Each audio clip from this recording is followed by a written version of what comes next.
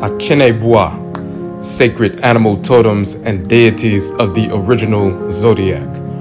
The mapping of the constellations and the understanding of the Abosom, deities, governing these stellar shrines, originated in Khanit, Nubia, and was preserved in Kamit. This was thousands of years prior to the Babylonian Empire. The original sacred animal totems, Akyeneboa, carrying the Tumi, divine power of the Abosom, the deities, were corrupted in various ways by the Greek invaders of Kamit, Egypt. In this course, we examine the original Abosom, the deities, the goddesses and gods, their sacred animal totems and role in creation and their physiological shrines in the spirigenetic bodies of Afurakani, Afuraitkaitnit, African black people. There is no true astrology without a knowledge of the actual Abosom, the deities,